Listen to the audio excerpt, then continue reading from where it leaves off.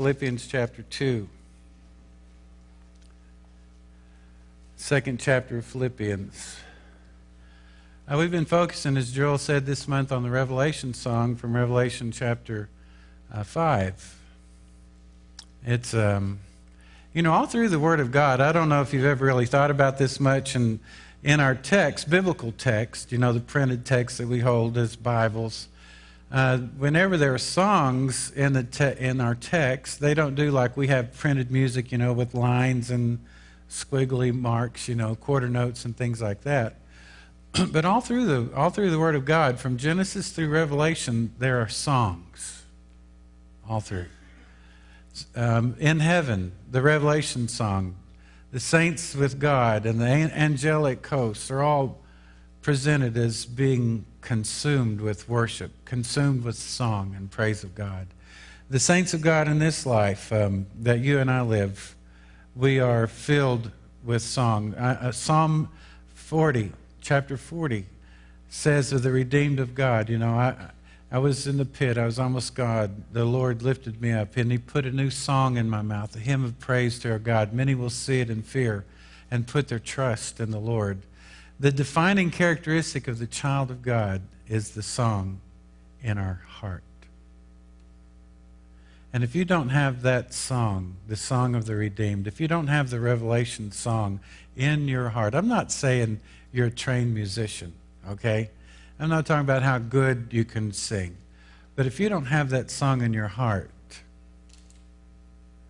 you don't have Christ in your heart.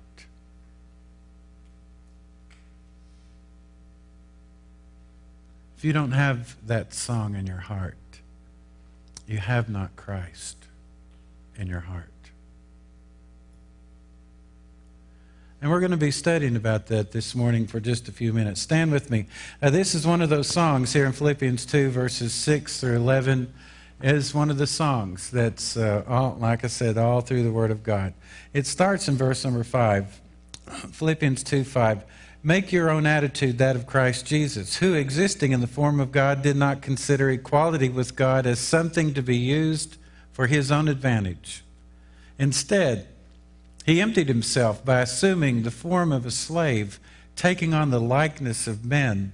And when he had come as a man in his external form, he humbled himself by becoming obedient to the point of death, even to death on a cross.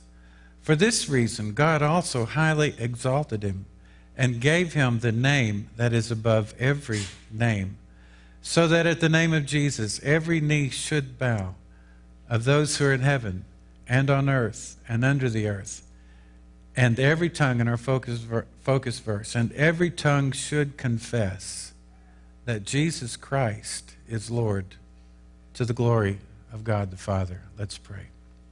Father, we thank you um, for our Lord Jesus. And we thank you for the song of the redeemed.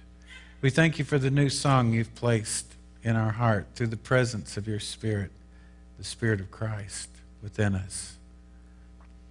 Lord, I pray that you'd bear upon our uh, every heart here today the, the truth, the significance of your, what your word teaches about this uh, aspect of confession the confession of Christ as Lord for the glory of your name. And it is in Jesus' name I pray. Amen. Thank you. the word confession, um, the, the idea of confessing, uh, there's been a lot of discussion about this even within the Christian community. There, there are many that, that hold to an idea somehow or another uh, that a requirement to confess with your mouth that Christ is Lord is somehow or another a false addition to salvation. Um, I think we want to look at what God's Word says about that. At the beginning point here in 1 John, the little uh, letter of 1 John, 1st, 2nd, 3rd John toward the end, 1 John chapter 4, I want you to look at this in 1 John chapter 4 because this is how profoundly significant uh, this issue of confessing Christ as Lord really is. Uh, 1 John chapter 4. Look at the verses 2 and 3. 1 John chapter 4 verse 2. this is how you know the spirit of God. Right? So this is for understanding. God wants us to know something without a doubt. This is how you know the Spirit of God. Every spirit who confesses that Jesus Christ has come in the flesh is from God. In other words, that's a confession of the incarnation of Christ, that Christ was with God in heaven. Christ was the creator, as John says in chapter 1 of, of the gospel, but that he came, he became a human being, the incarnation. That's what he's talking about. Every spirit who does not, verse 3, every spirit who does not confess Jesus is not from God. Now look at this. This is the spirit of the Antichrist. You've heard that he's coming, and he's already in the world now. Now, John wrote that some 2,000 years ago, and you know what? The spirit of Antichrist has not left the world to this day. The spirit of Antichrist is here. As a matter of fact, it's, uh, it's the number one issue in our entire world today. It's the global issue. Uh, we, we may call it different things. Uh, for the war on terror might be a word. The real issue of the entire global conflict that we have, we call terrorism or stuff, is an antichrist movement to deny that Jesus is Lord. That's what's going on in the world. It's not a political war, it's not a war with nations, it spans the entire globe. Over this one confession Christ, Jesus, is Lord. Uh, there are those that want to deny this. Uh, there are those both outside of Christianity that would deny that Christ is Lord. there are those within Christianity who have come out of Christianity who've developed truly false doctrines that deny that Jesus Christ was the incarnated Son of God, that deny that Jesus Christ was God come in the flesh, that would deny that Jesus Christ had a literal death, a literal resurrection, and after three days literally ascended from the dead, and then ascended in some 40 days into heaven in front of them, and that one day he will literally come back. There are many within inside the quote church that would deny all of that reality. And it's all built around, the whole issue of our day is built around this one thing Will you confess Christ is Lord? If not, if you will not confess that, you are under the spirit of Antichrist. And when you die, you will go to hell for eternity. Does that sound serious enough for you? It's the issue of our day. Turn back to John's Gospel, chapter 12. John chapter 12. Uh, we had this verse uh, last week, and we have it again today. It's a little different point in the verse, verses 42 and 43. And the point here why would somebody not confess Christ as Lord? Uh, the Bible presents that one of the main reasons is because of fear the fear of, of man or the fear of rejection. Look here, verses 42 and 43. Nevertheless, many, speaking about the Jewish elders, rulers, the Pharisees, many, many did believe in him because, even among the rulers, but because of the Pharisees, they did not confess him. Notice that they would not publicly confess him, so they would not be banned from the synagogue. oh my goodness, banned from the synagogue. For they love praise from men more than praise from God. Real quick, now this isn't in our PowerPoint. Turn back to John chapter 3, just to kind of substantiate this. John chapter 3. This is where Nicodemus, you know, comes up to Jesus. And he was a ruler of the Jews. As a matter of fact, Nicodemus was among the ruling class of the Pharisees themselves. He was a Pharisee of Pharisees, if you will.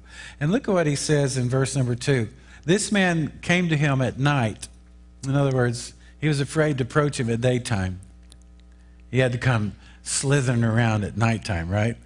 This man comes to him at night and says, Rabbi, teacher, look at, don't miss this. We know, okay?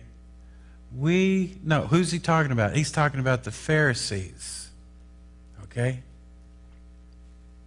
Rabbi, we know that you have come from God as a teacher. For no one could perform these signs you do unless God were with him. Don't ever forget that. Don't miss that point. The Pharisees knew beyond a shadow of a doubt that Christ was Mashiach, the Messiah of God. They knew that. That's why, for example, in the 12th chapter, you find Jesus saying what they were doing. They were attributing, they started to attribute the power to do the miracles to Beelzebub. He does this by the power of Beelzebub. And Jesus says in John 12, this is the unpardonable sin. This is unpardonable because they knew, they knew, they knew he was the Messiah of God, but yet they chose to resist, to fight against him, and even to attribute the great works that he did to Satan himself. Jesus said, You won't be forgiven of that. Forgiven of that. That's the unpardonable sin. That's in the 12th chapter. They knew that Jesus was from God. So back in chapter 12, the only thing that God gives us permission to fear, the only thing, the only thing God gives us permission to fear is Himself. We have no permission to fear any other thing. No power, no entity, no group, no threat, only God. That's important in understanding the significance of confessing that Christ is Lord. Turn with me to Matthew chapter 10. Gospel of Matthew chapter 10.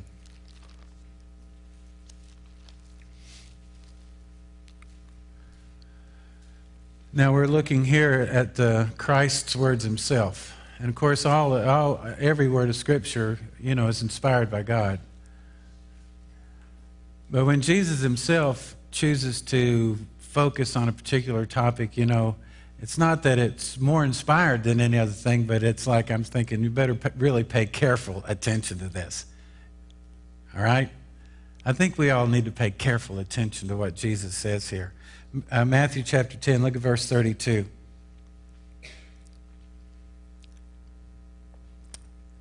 Matthew 10 32. Therefore, anyone who will acknowledge me, and that's the same word confess, okay? Anyone who will confess me before men, I will also acknowledge him before my Father in heaven. Or I'll confess him before my Father in heaven. 33. But, but, this is, this is a big conjunction here. But, don't miss this. Anyone who denies me before men, I will also deny him before my Father in heaven. Don't assume I've come to bring peace on the earth. I did not come to bring peace, but a sword. And he goes on to talk, talk about how significant he demands allegiance even above, above family allegiance. You know, there, there are many that almost seem like, you know, they want to wrap Christianity around the worship of the family. No.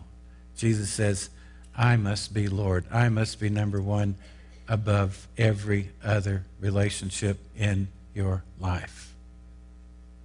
If not, you have not confessed Christ as Lord. All right? Um, in the uh, in the New Testament day, in the time of the writing of the New Testament, this this became as as it is today the singular issue of the whole Western world, the movement of Christianity.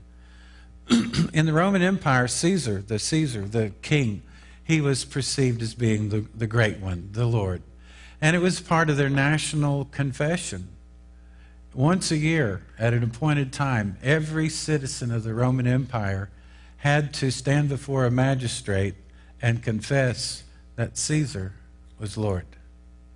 It went something like this Caesar is Kyrios. Caesar is Lord. And if you refuse to confess that Caesar was Lord, Caesar is Kyrios, you're immediately put to death as a traitor. That was, if you will, that was kind of a problem for these new believers because they only would confess Christ as Lord. So they would stand before the magistrates in whatever nation they were in in the Roman Empire. And the magistrate would demand the response Caesar is Kyrios. And the Christians would stand. And not with arrogance, and not in defiance, you know, in, in spirit, but in humility, they would respond Christos is Kyrios. Christos is Kyrios. And they'd be taken to their death. You've heard about the Roman Colosseum, the great Colosseum in Rome. And this Colosseum, you know, the gladiators, you probably might have seen the gladiator movie where the gladiators would fight. This was also where they had uh, the festivity of, you know, sacrificing the Christians down there. They'd bring in a group of Christians at times, not all the time. Sometimes it's just gladiator, gladiator.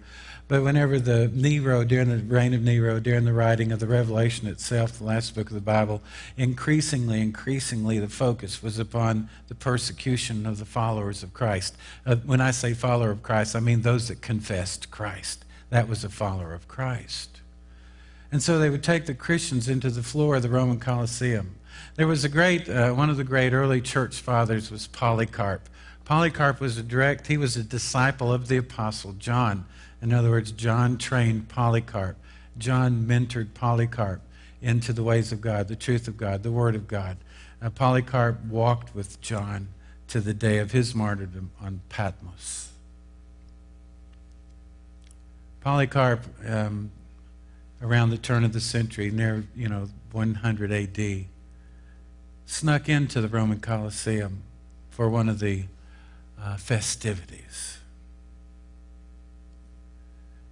There were the gladiators, there were the lions, and there were the ragtag believers. Uh, the, the, the appeal, the, the, the opportunity was presented, you know, with a loud shout. Proclaim, confess that Caesar is Lord, Caesar is Kyrios. And the Christians in unison would say, Christos is Kyrios. And the crowd would go into a rage, gnashing of teeth, thrashing, kill them, kill them. They would scream. And the gladiators would advance with chariot and sword, and the lions would be set loose with the gaping jaws and the roar and the tearing and the thrashing of flesh. And the crowd would roar in bloodlust. Give us their blood. And in the middle of the chaos, Polycarp recorded that from the floor of the stadium, the song of the redeemed would be lifted up as the men and women and children of God would start to sing the Revelation song Jesus is Lord. Hallelujah. Hallelujah. Christos is Kyrios. Even above the roar, you could hear them sing to their last breath Christ is Lord.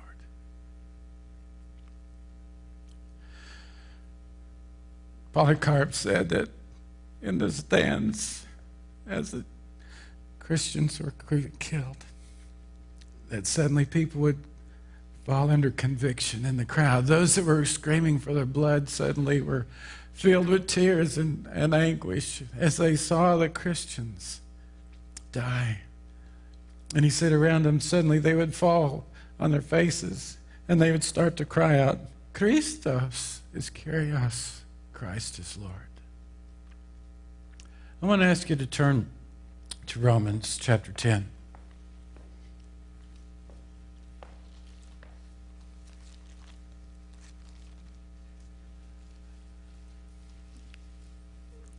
This thing of becoming a Christian is really not a.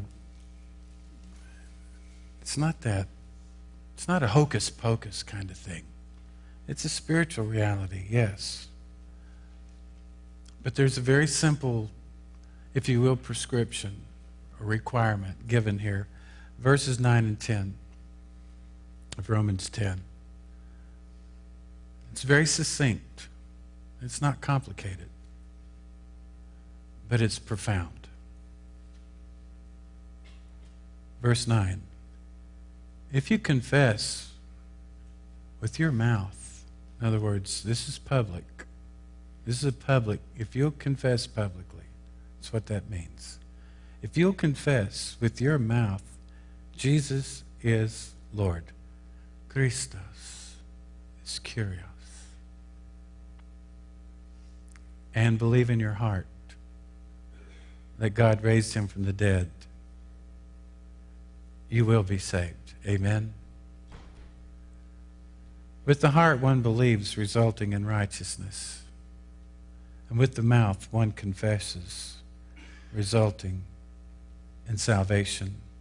And the scripture says, No one who believes on him will be put to shame. Verse 13 Everyone who calls on the name of the Lord will be saved. Remember the, remember the Pharisees, Nicodemus? They believed. They believed. Oh, they believed. But they would not confess. And they're in hell tonight. Look in uh, Romans 14, verse 11. Romans 14, 11.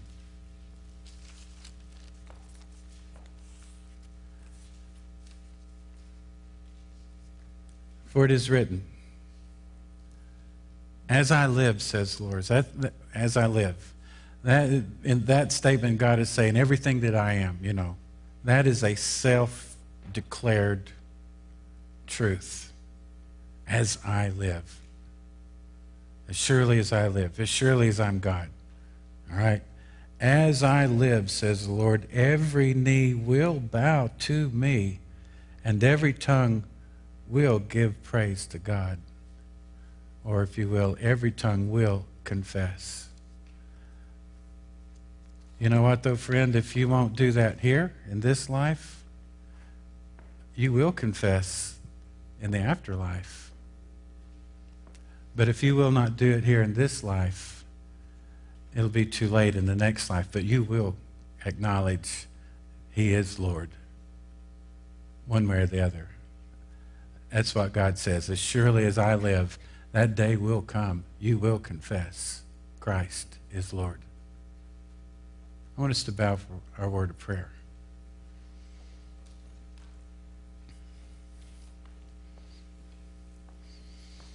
Romans 10 said, If you'll confess with your mouth that Jesus is Lord and believe in your heart that God raised him from the dead, you'll be saved.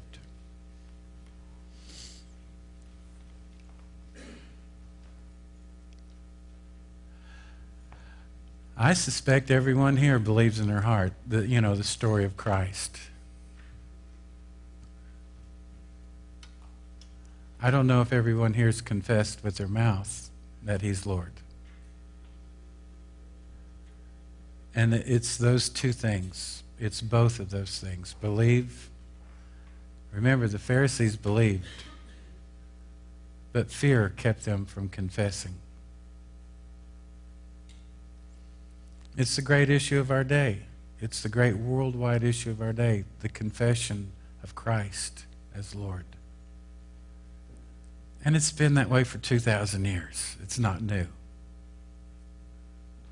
And God's word has not changed. I'm going to ask us to do something here this morning. I'm going to ask us, um, I'm going to pray, and then I'm going to ask you to stand up. And before Joel starts the music, I'm going to ask us to do a public confession. And it's going to be a very simple confession. Three words Jesus is Lord. Okay?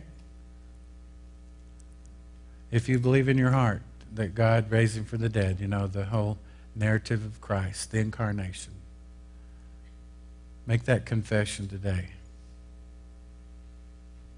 And the Word of God says you will be saved. Father, we thank you for your love for us, and we thank you for your Word. And I thank you for the opportunity to study your Word together.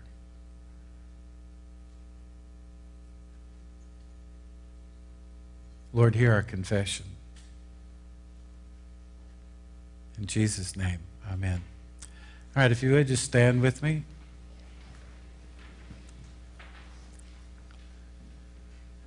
And if you'd like to make it even a little more real, look at your neighbor and say these words Jesus is Lord. On the count of three Jesus is Lord. Let's do it this way. Let's say, Jesus is my Lord. Okay? Jesus is my Lord.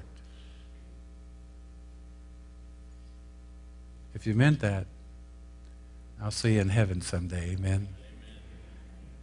Now, you might want to come and stand and confess that before the whole church, as in you've never really made a public confession and become a part of a church. And we'd be delighted, we'd be honored to have you join with us today. Joel, you lead us as we sing.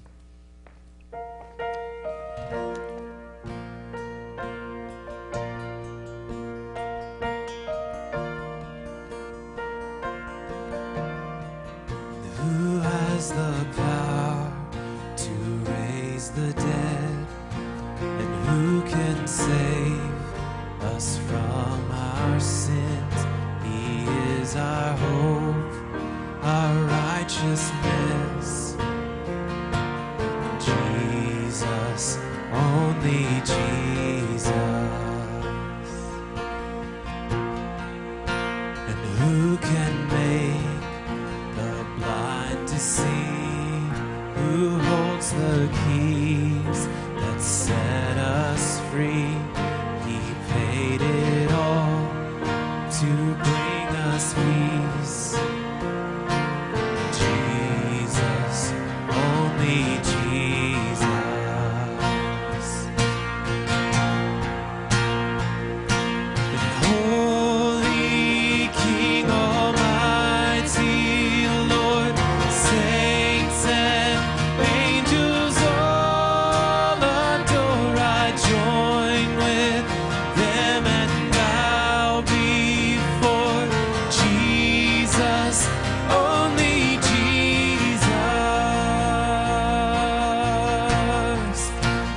can command the highest praise, who has the